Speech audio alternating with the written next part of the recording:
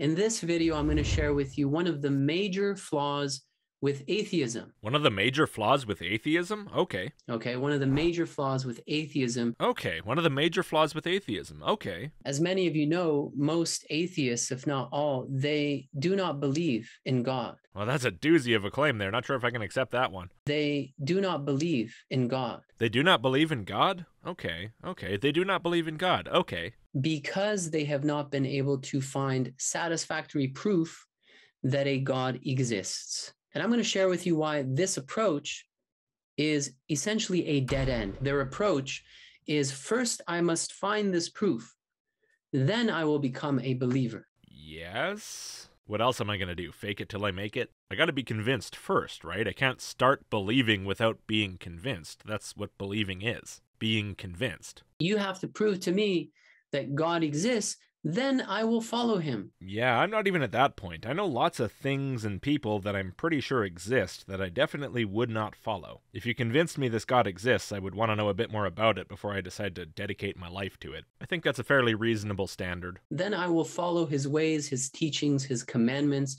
Then I will maybe join a religion, Islam, Christianity, the Baha'i faith, Judaism, uh, Buddhism, etc. Wait, so what God are we talking about here? Which God am I being convinced of? Just any general purpose God or God-like entity? Yeah, again, that's kind of why I would like to know a bit more before I go making a decision that affects my entire life. Even just to avoid ignorance, you know? If I go join Islam and then it turns out, no, I had to accept Jesus as the Messiah and God himself to be led into heaven, well, that seems kind of counterproductive. So yeah, I'm not just going to put on a blindfold and point to a religion on a list. After I have evidence there's this God, I'll be some sort of a deist. Maybe even sort of a generic theist. But I'll still need to figure out which, if any, of the current human religions are actually true, which is going to require its own set of justifications. Okay, first I must find this evidence and proof which satisfies me that a God exists, then I will follow him. Okay, until I don't find this evidence, I will I will be a disbeliever essentially. Again, this isn't even a decision I'm making. I don't have a choice in this. Either I'm faced with some sort of evidence, including arguments that convince me, that turn me into a believer, or I'm not going to be a believer. And I just happen to have a pretty high standard of evidence, so what it takes to convince me to believe something is good evidence. Right.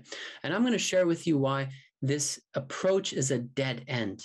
It's a recipe for failure. You will never find satisfactory evidence that a God exists. Okay, I did not expect that sentence to end there. You will never find satisfactory evidence that a God exists. Okay. Trying to look for evidence of God is a dead end. Sure, I pretty much agree with you. That, of course, includes things like the emotions felt by believers, the experiences that they attribute to God talking to them or whatever, visions, dreams. I don't find any of that satisfactory when it's told to me, and I don't think I would find it satisfactory if I experienced it either. I've had the experience while sitting in a dark room late at night that there's someone standing behind me. That doesn't mean there's a ghost standing behind me. It's not satisfactory evidence. Yeah, no, I love this. This video is great so far. Trying to look for satisfactory evidence of God is a recipe for failure. You won't come to believe in God that way. That way being the way to believe every other objective claim ever. It's refreshing. You don't hear this very often. I wish you'd talk to all those people who are constantly bringing up like the Kalam cosmological argument and design arguments and stuff like that, because I think they need to hear this. The knowledge of God is not something that is intellectually acquired before you decide to follow him or not. The knowledge of God is a knowledge that is experienced. Okay, so it's a feeling. You believe because feels. Well, I think emotion is responsible for 99% of all human stupidity, so no, thanks. You ever seen someone who believes something really, really dumb or does something really stupid and irresponsible? Yeah, most of the time that's because of emotion, because of experience. The people who believe the birds are robot spies sent by the government to peek in their windows are believing because of experience. The people who believe the voices in their head that tell them to hurt themselves are believing because of experience. The people who take a whole bunch of DMT and then believe the machine elves are communicating with them believe that because of experience. Probably a much stronger experience experience than yours, in fact. That doesn't mean they should believe it, although their brains are so screwed up by drugs that they do. This is not a way to establish the truth of a claim. After you follow him, after you obey his commandments, his teachings, his blueprint of life. Uh huh. So fake it till you make it then. Even if you don't believe, just join my religion, do my religious rituals, and maybe eventually you'll emotion yourself into believing. Yeah, that works on some people. I know it does. I'm not those people. I just went to see what it was about, and it was so nice. There was such a sense of community and love, and I could just feel something in the air. And they told me this quotation from their book, and it spoke to me. It was such a lovely thought, so insightful. People get the same thing at Tony Robbins self help conferences. They get that from multi level marketing scams. Emotions can lead you to any stupid idea. They lead millions of people to all kinds of mutually contradictory dumb ideas all the time. I mean, you yourself just named a bunch of different religions that people follow for emotional reasons. Those religions are not compatible with each other, but the fundamental reasoning people have to believe all of them is identical. Now, I know you're Baha'i, and so you probably believe all these religions are compatible with each other, that they're all part of one overall revelation from God, that they're all small pieces of God's revelation. But the problem is, the claims they make and the rules they prescribe are in contradiction to one another. They are not compatible. That should show you just how bad emotion really is at determining truth, but given your religion, you probably don't accept what I'm saying right now. So again, apply it to non religious things, or things from religions that aren't part of the sort of accepted Baha'i series of revelations. It is a knowledge that is experienced through the process of alchemy. I found this comment on your video that says you use alchemy as a synonym for transformation, which is a remarkably confusing way to use that word. I don't know why you don't just say transformation. Okay, Christ said that we have been created in his image. And so as we advance in this journey of alchemy, of dying to the human condition, to human imperfections, being recreated in his divine perfections love, compassion, honesty, trustworthiness, patience, etc. As we die to resentment and we are recreated in forgiveness, which is a quality of God, for example. We begin to experience God within us. And this is what I consider to be, and many of my uh, religious uh, homies considered to be the evidences of God within you. Well, that's great for you. You know, you do you. Have fun. But I thought we were talking about the main flaw of atheism. Why are we talking about the main flaw of your religion? As you die to the human condition and as you are recreated in his image through the process of alchemy, this journey of life, these are the evidences of proof uh, of God within you. Yes, I know. You just said that. It doesn't make it more compelling if you say it twice. It is a knowledge that is experienced after you obey him, not before. You really want to get that freebie, huh? I swear, just join my religion and then you'll find out it's true. Mm, no thanks. I've heard this marketing gimmick before. I don't have unlimited time in the day. I can't just convert to every religion and try it on and see how it feels. I mean, I know how I would feel. I would feel stupid and take it off again. But for people who don't have that, I think that they would probably feel something for most religions. Or maybe not most. I've heard a lot of stories of people shopping around and going, ah, this one didn't really work for me, and that one, eh, didn't feel quite right, but this one, that was the ticket. Stick any religions you want in the blanks there. So, yeah, maybe not most religions. Different people have different flavors they like better. But probably there's a lot that would appeal to each individual emotional person. And I'm not just talking about religions either. Like I said, multi level marketing, political movements, conspiracy theories, racial supremacy groups. Anything that evokes those feelings that you belong, that you're right, that you feel loved and accepted, and that you have some kind of guidance and direction and purpose and understanding. So, yeah, I'm not just referring to religion. There are so many things you can believe just because it makes you feel a certain way. In fact, literally infinite things. Okay? It is impossible to obtain the evidences of God, to experience the evidences of God within you before you obey Him. Yeah, and that's a really good reason to think it might be bullshit. So, what you want to tell me in this video is that we should just do special pleading for God. We should not treat God like any other claim that requires evidence for its truth before we accept it. And then you want to tell me about evidence that makes it even less reasonable to believe in God. And by this, you hope to accomplish what? So, what happens when you meet a person who doesn't think their personal feelings are satisfactory evidence of anything, other than their feelings? What if I tell you that those feelings that you feel are not satisfactory evidence? What if I tell you feelings are as uncompelling to me as a bad argument is? As evidence, I mean. What if I were to follow the steps that you prescribe, whatever it is, you know, read the book, obey the commandments for a week, for a month, for a year, and then it produces a feeling, and my response is, hmm, that's interesting. This sequence of actions produces a feeling in humans. This seems like an interesting psychological phenomenon. I should look into this. Then what?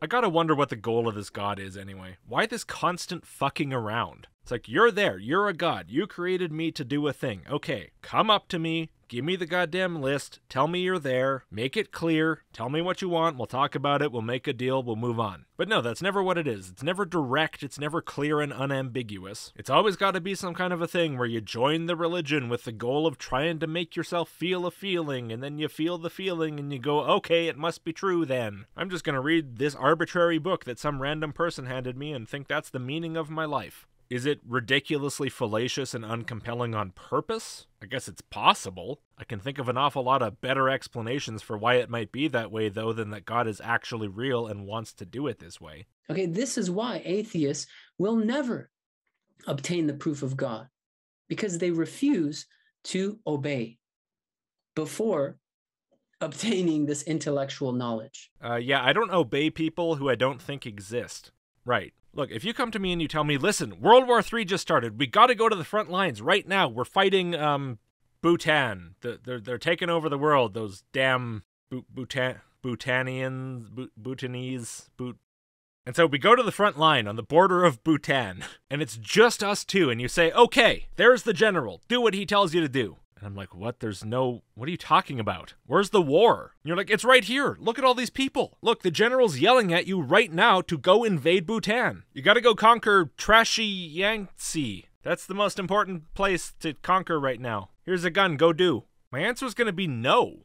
I'm sorry. That's stupid. No, I'm going home. This is really dumb. And as I'm walking away, you'll probably yell after me, See, this is your biggest problem. You require this intellectual knowledge before you obey. Check this out. In the Bible, we read, He that hath my commandments and keepeth them, he it is that loveth me.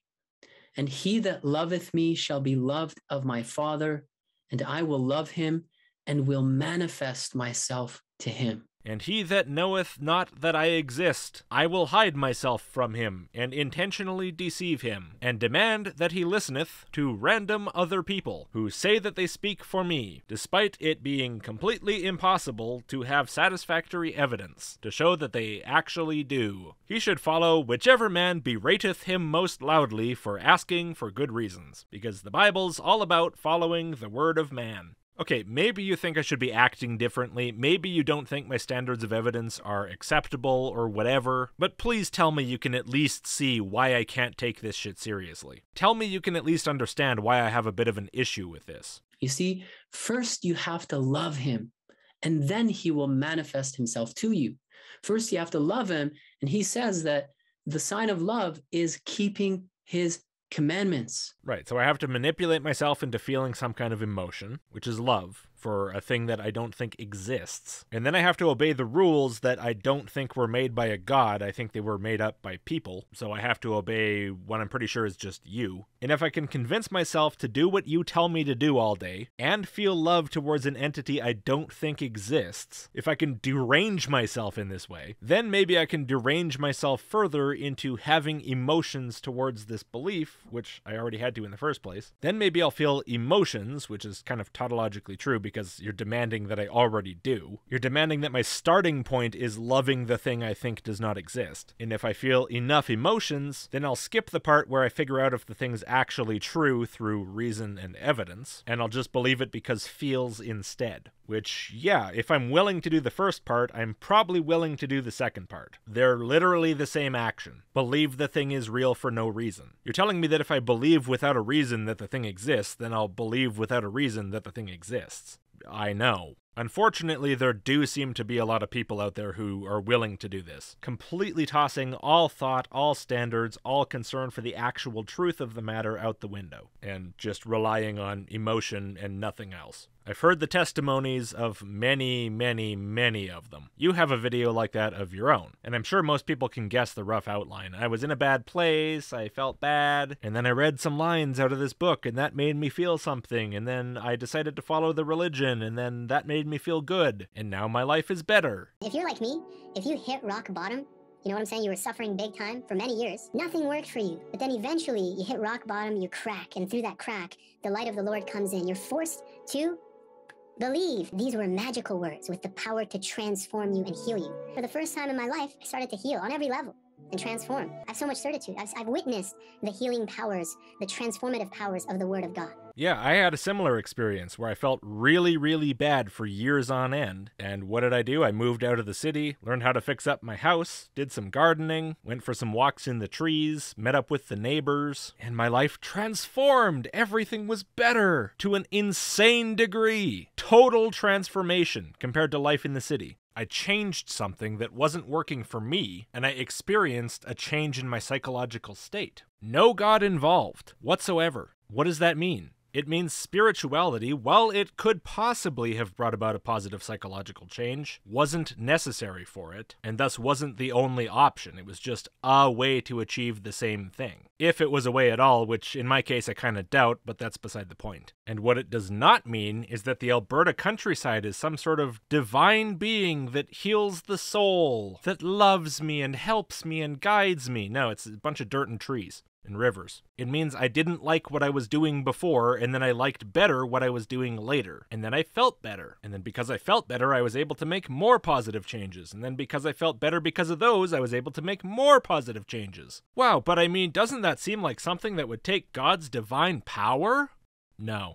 Look, I know that for some people, the change they make in their life is joining a religion, and that's the thing that makes them feel good. I get it. That doesn't make it true. It just means it makes them feel good. It probably encouraged them to make some changes that worked a little bit better for them, which is probably why you see those people shopping around for religions and saying, eh, this one didn't really work for me, that one didn't really work for me. Partially, it's the feeling they get from the story or the atmosphere or the type of religion itself. And part of it, probably, is that different religions require different life changes when you join them, and different things work for different people. Lots of things have that kind of effect on people, not just religions. So I'm sorry, but no, I don't make decisions or declare beliefs about matters of objective external reality based on raw emotion, based on how it makes me feel. How it makes me feel reflects how it makes me feel, and that's it. Okay. So if you keep his commandments, you love him and you keep his commandments, then he will manifest himself to you. In Baha'i scripture, we have a very similar text Love me that I may love thee. If thou lovest me not, my love can in no wise reach thee. That's a bizarre statement. We're dealing with an all powerful God, right? His love can do whatever he wants it to do. It's not dependent on me. I mean, I'm not real familiar with Baha'i, but I doubt I'm supposed to be the almighty one here. So again, you have to love me first. You have to obey my commandments first. Otherwise, my love can in no wise reach you. You will not be able to feel my love. You will not be able to experience my love and the evidences of my beauty, of my gifts and bounties. You got to do what I tell you, or I'm not going to give you any evidence that I love you or even exist. Okay, hey God, how am I supposed to do what you tell me? You didn't tell me anything. This guy told me something. What am I supposed to do with this? I'm not just gonna base my life around obeying this random YouTube guy. If you want something, tell me what it is. If you wanna hide the fact that you love me, sure, do that. In fact, I'd kinda prefer that. Let's take it slow. But at least give me some kind of reason to think you exist in the first place so I have something to work with here. That seems abundantly reasonable. That's step one in love, right? Or obedience, thinking there's someone to love or obey. How is it supposed to make any sense to do the love part or the obedience part before that part? At that point, it's just like fucking a waifu pillow. And this message is found across every religion, every divine book. What, believe first, ask questions later? Yeah. Yeah, a lot of them, anyway. Yet another reason I'm so confident discarding them until further evidence is presented. Because that sort of thing typically is not necessary for stuff that's true. I have to say again, though, I really do like your approach. It's so helpful to me. It's so much easier to deal with, and it's so much less compelling than people's garbage arguments. Like, I mean, garbage arguments for God's existence are bad enough already. They're not very compelling, but they're much more compelling than this. And they take more time to deal with, you know, because there's something there to deal with. Okay, but if you're an atheist, you won't know about this because you refuse to read divine scripture. I'll read whatever you want, man. Want me to read the hidden words? I'll read it. It's short. Hidden words from the Persian, number 57. O son of dust, beware! Walk not with the ungodly, and seek not fellowship with him, for such companionship turneth the radiance of the heart into infernal fire. Oh, well, fuck you too then. That doesn't sound like the classic isolation component of brainwashing or anything. Eh, you know, what's funny is that was the first thing I read when I cracked this book open the first time after I got it. The book's just a collection of little quotes, and I read a bunch more after that, and nothing did it for me like that first one. I opened the book and I saw exactly what I needed to read. It's gotta be God speaking to me, telling me to fuck off, and telling me you're full of shit.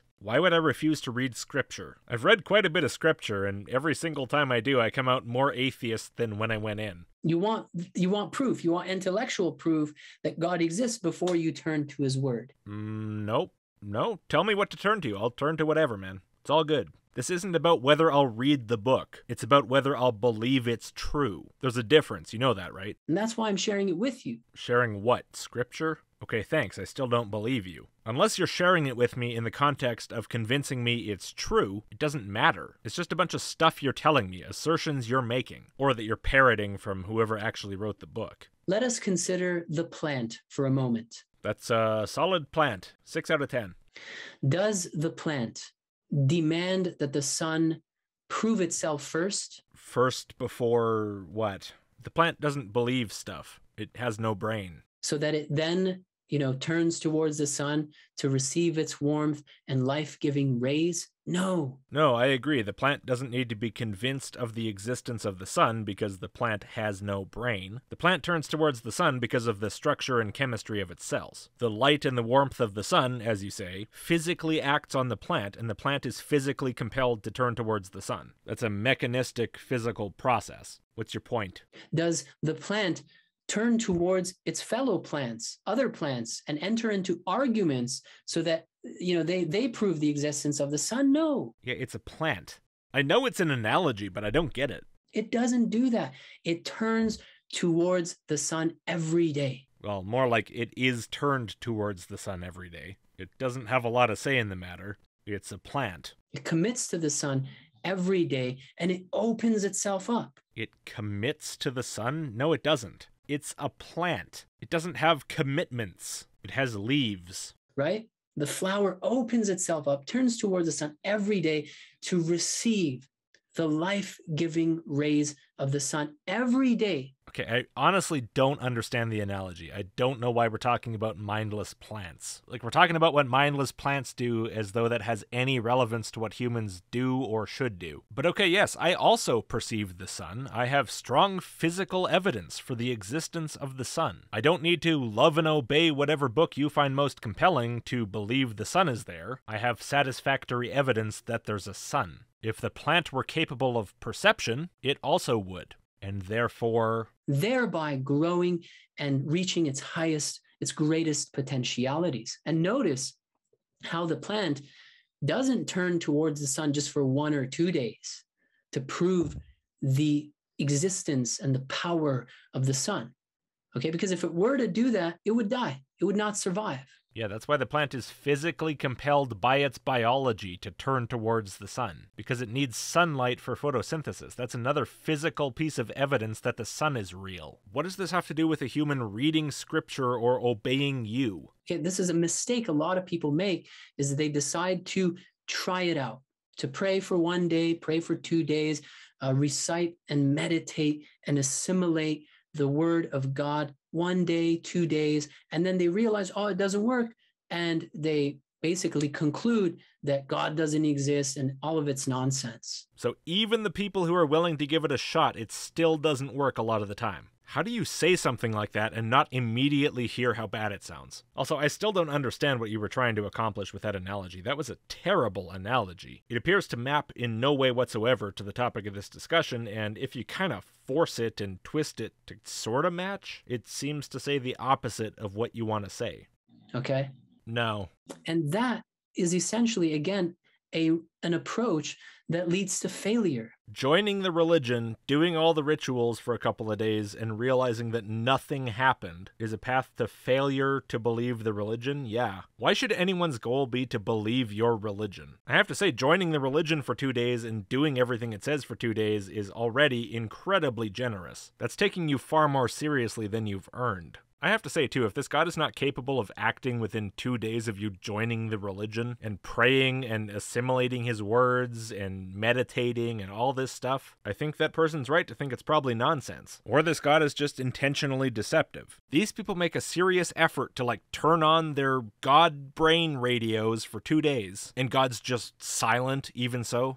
Well, I guess the third option beyond nonsense and intentionally deceptive is that it's just not that important. I mean, this God character really doesn't seem to take it very seriously. He's not exactly treating it as an urgent matter. So, yeah, regardless of what the reason is, it doesn't seem like there's much point bothering. Okay. If you consider your physical body and how you need to eat every day in order to grow, right? From the state of a baby to a child, adolescent, an adult, and also in order to maintain a healthy immune system so that you don't become malnourished and experience deficiency diseases, a weakened immune system, you need to eat every day, correct? So, okay, let's see here. To have apparently any reason whatsoever to think that your God is real, I have to believe your God exists in the first place and love it. I have to obey its commandments, whichever ones you tell me they are, whatever book you hand me. I have to pray every day, meditate every day, assimilate and recite its word every day for a similar amount of time that it takes me to grow from a baby to an adult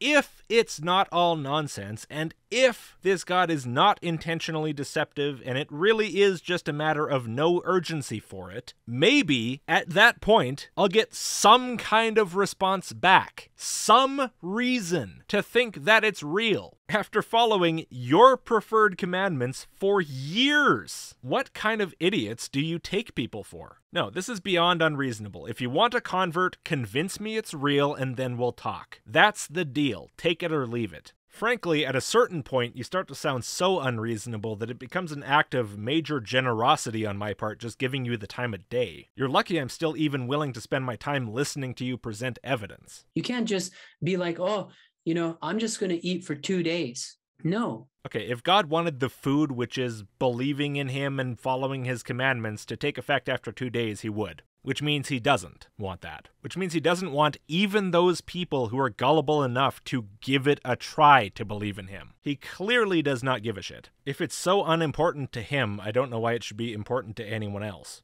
Now, how much more so divine nutrition, food for your soul? Uh, well, so the idea is that when you eat, you don't immediately see signs of growth or the lessening of deficiency diseases. Okay, fine. But you do stop being hungry. You have some kind of feedback. You have this very strong urge that's telling you, holy fuck, I need to eat. Holy fuck, I need to eat. And then you eat and you feel instant relief. Like, oh, finally. I feel so much different, so much better. And you're telling me spiritual food doesn't work like that. You can eat for two days this spiritual food and it will have no perceptible effect. I have no urge to eat this food. Nothing is wrong. Everything's fine. Which already seems very, very odd, don't you think, if it's so important, apparently? If it's as important as sunlight to a plant or food to an animal? But then if I choose to eat it, nothing happens? Unless I do it every day for years? After which amount of time I would expect my life and my attitudes to change in some way regardless, potentially for the better. And then I have to attribute that to the god and say, aha, he does exist. And I bet if it changes for the worse, there's some excuse excuse. And in the meantime, I get zero evidence that this soul exists, that this spiritual food is actually some sort of food, that the God that I'm supposedly talking to to get my food exists, that the book that I'm reading out of is anything more than a product of human beings. I get nothing, literally nothing for a long period of time, even after I start following the religion.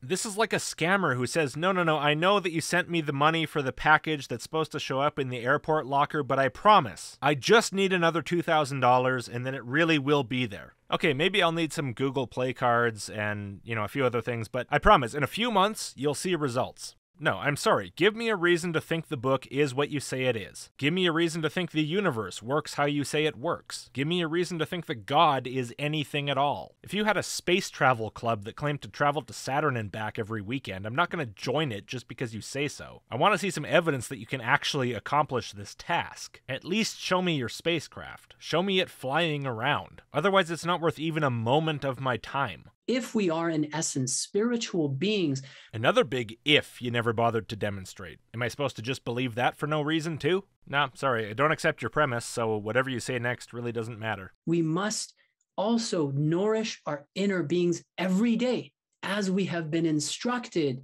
by the divine educators. By divine educators, you mean these supposed manifestations of God Jesus, Moses, Muhammad, Baha'u'llah. And no, that doesn't follow whatsoever. If we're spiritual beings, that just means we're spiritual beings. That doesn't imply that you have to follow prophets. It doesn't imply that you have to somehow eat by following commandments. It doesn't imply anything you say. These are yet more unjustified claims of yours. It's not just the God claim that's at issue here. You have unjustified claims piled on top of other unjustified claims. Each one needs to be addressed. Every single one of them have taught us and have recommended that we pray every day, that we recite the verses of God, His word every day. Maybe. I mean, these people include like Abraham, Krishna, Zoroaster, Buddha. I mean, one of those people isn't even supposed to be a person. Krishna is a Hindu god. In any case, I don't know exactly what these different people had to say on the matter. You know, Zoroaster, Buddha,